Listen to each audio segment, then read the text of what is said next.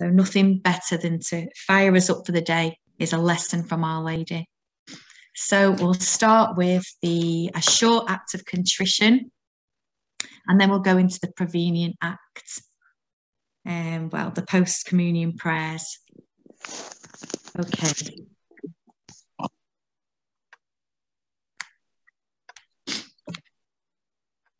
And just if everybody could just mute themselves, that'd be really good.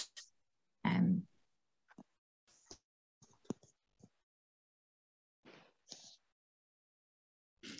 okay.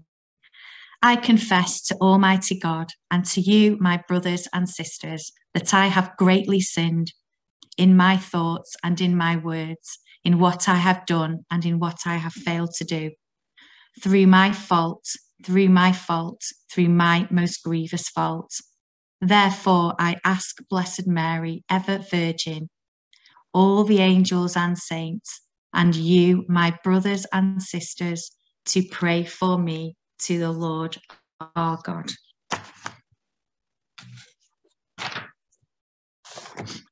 And we'll say the um, our prevenient acts for the day.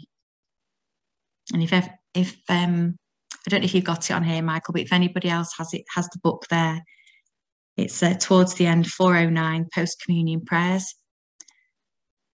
So we say, Jesus, with the dawn of each new day, through your dearest mother, Mary, I renew my acceptance of this gift and I thank you with all of my heart and my soul. May I live every moment in your divine will. Jesus, I desire to enter into you and to be one with you, and I take what I find in you. Jesus, I find in you my own life and the lives of everyone, from Adam to the last one to be created, which you have perfectly redone in your divinity. And I offer them to the Father with you for his glory and a perfect return of love. Amen.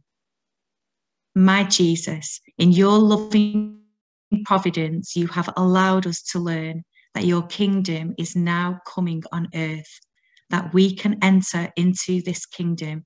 And this is what I wish to do with all of my heart. I want your divine will to reign in me all day long, as it did in paradise in Adam and Eve, as it did in your home, Nazareth, in Mary with Joseph. I want your divine will to reign in me, as it did in Luisa, the firstborn in the divine will in these times. I want you to animate all that I do, to think my thoughts, speak my words, and do my actions.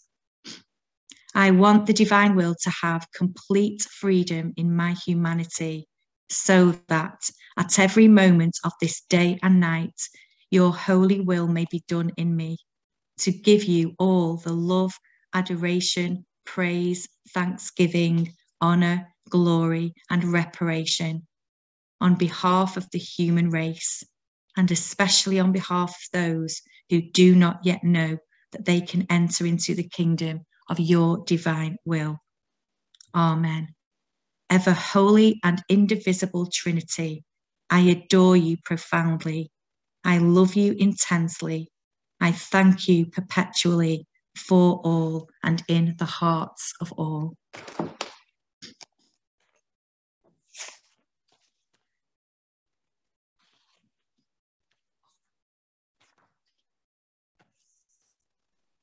daily prayer to the Heavenly Queen for the month of May.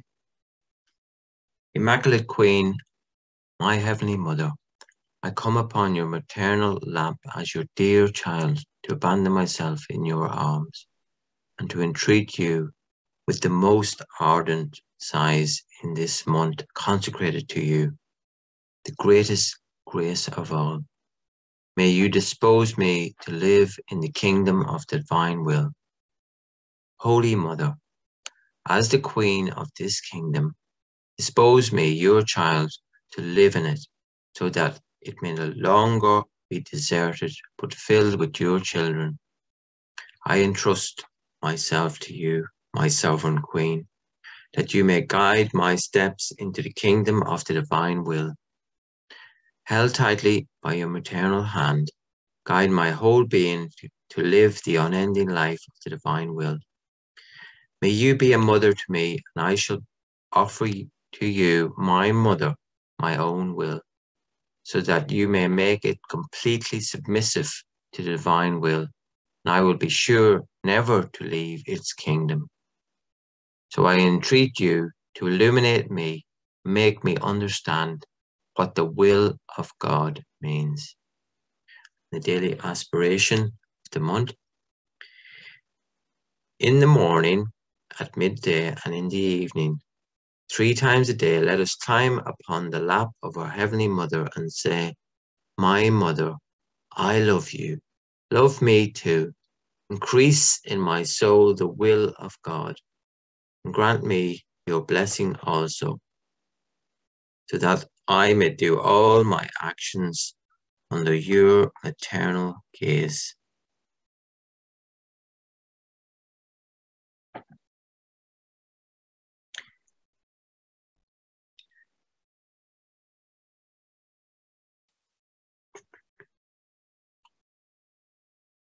And I invite uh,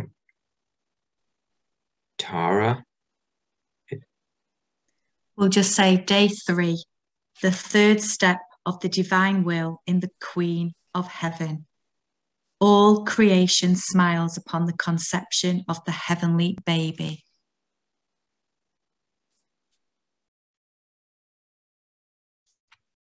Mother, this little child of yours, enraptured by your heavenly lessons, feels the extreme desire to come every day upon your maternal lap and listen to you as you infuse your maternal teachings into my heart. Your love, your sweet accent, you taking me in your maternal arms and pressing me to your heart infuses me, infuses in me courage and confidence.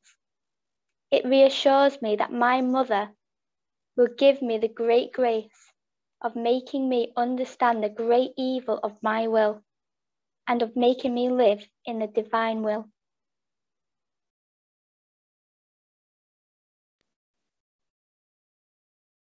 My child, listen closely to what your tender mother wishes you wishes to tell you. It is my maternal heart that speaks to you and as I see you wanting to listen closely to what I am about to say, my heart rejoices and feels the certain hope that my child will take possession of the kingdom of the divine will, which I possess within my maternal heart to give to my children. Therefore, be attentive in listening to my teachings and write all my words within your heart, so that you may always meditate on them and pattern your life after them. Listen, my child. As soon as the divinity smiled and rejoiced over my immaculate conception, the supreme fiat took its third step in my little humanity. Although I was ever so tiny, the supreme fiat endowed me with divine reason, moving all creation to rejoice. The supreme fiat caused me to be recognized by all created things as their queen. Creation recognized in me the life of the divine will and the whole universe prostrated itself at my feet, even though I was tiny and not yet born. Singing my praises, the sun rejoiced over me and smiled at me with its light. The heavens celebrated me with their stars, which smiled at me with their meek and sweet twinkling, and offered themselves as a radiant crown upon my head. The sea rejoiced over me with the peaceful rising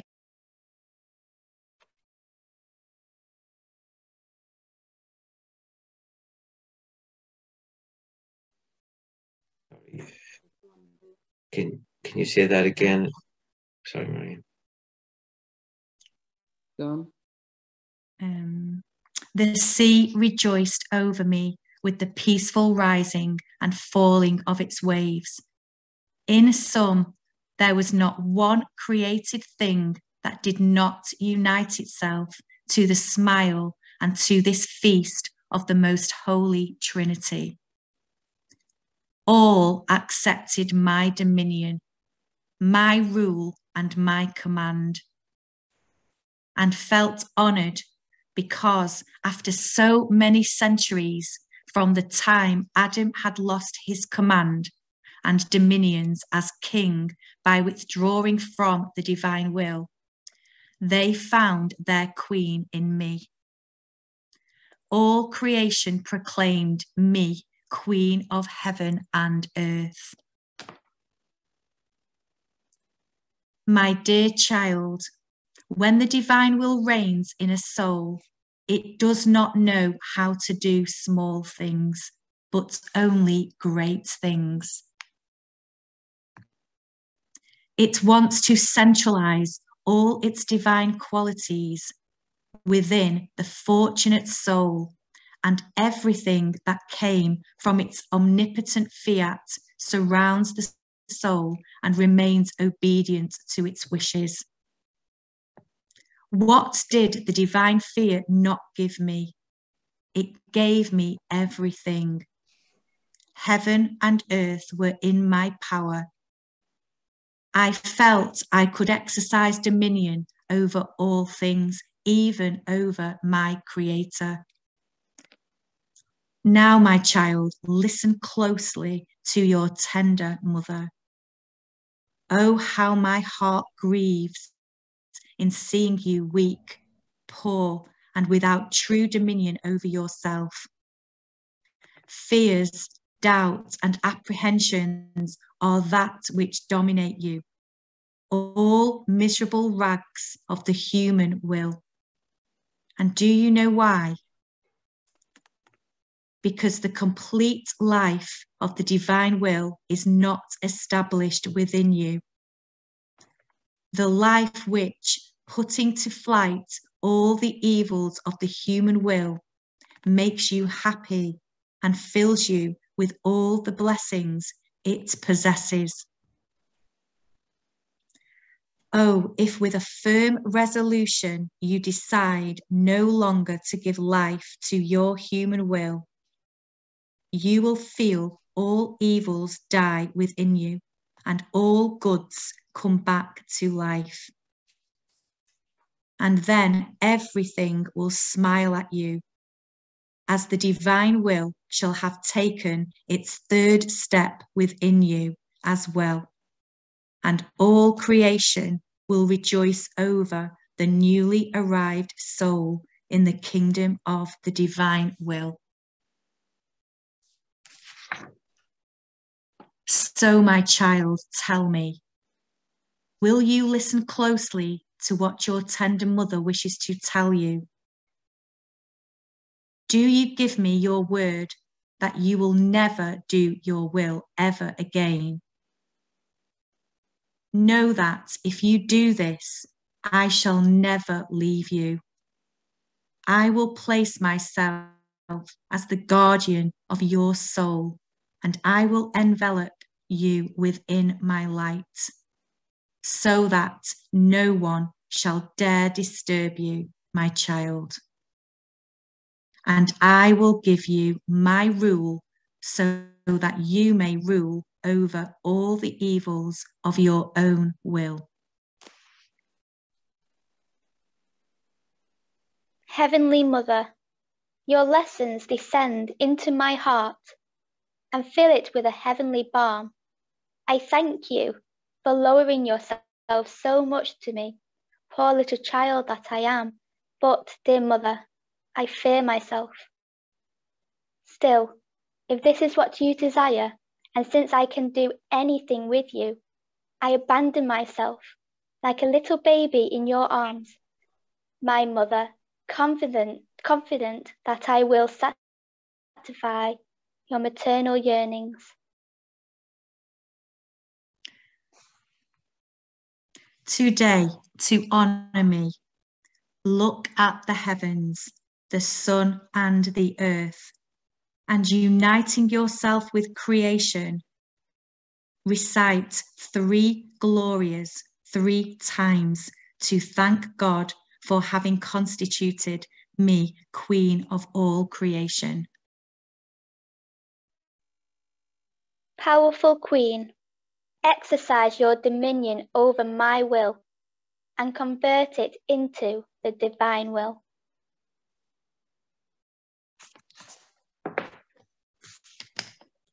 You say the three glory bees. Glory be to the Father, and to the Son, and to the Holy Spirit.